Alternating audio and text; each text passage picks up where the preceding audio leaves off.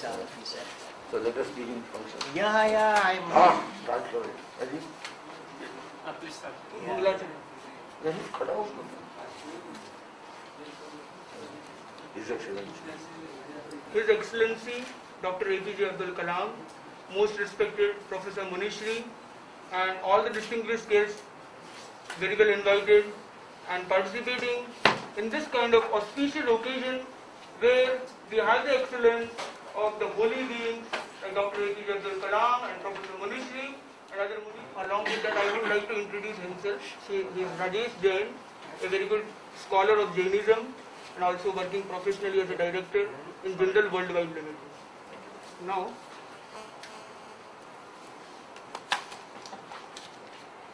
I am given a very good opportunity to convene and along with that to present an introductory speech to this function.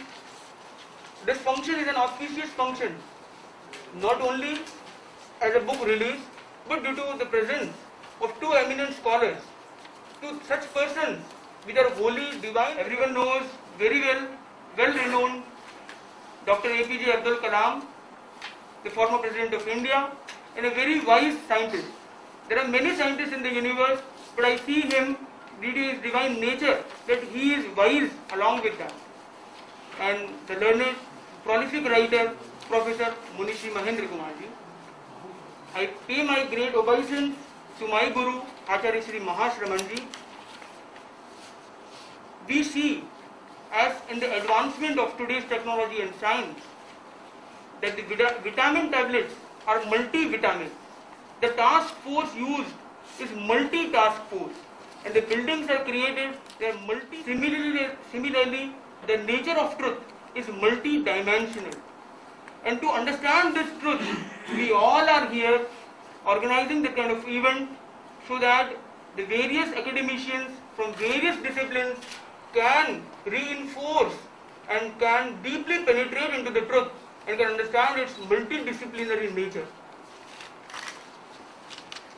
The author of the book, Professor Munishri Mahendra Kumarji, we see two prefix before his name.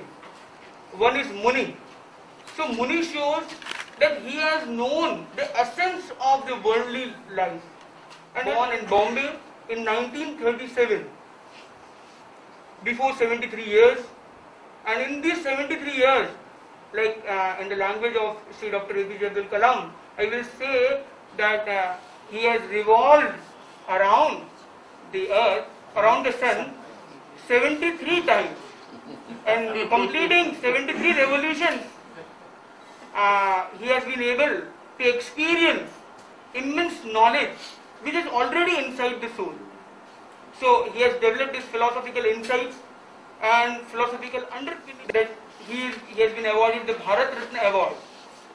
That is his contribution to the humanity, to the Indian nation at large.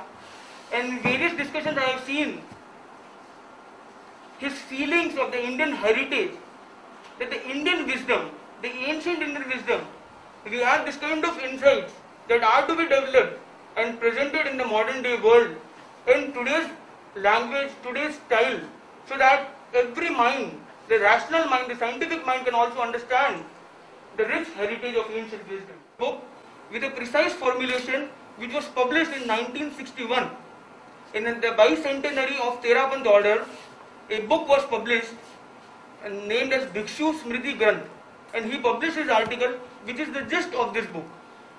But unfortunately, he has been busy in many other works and after 50 years of that article, 49 years, in 2010, he got an opportunity to complete his left out work and he completed this book and this is being inaugurated by Dr. APJ Abdul Kalam. Thank you very much. Next. Now,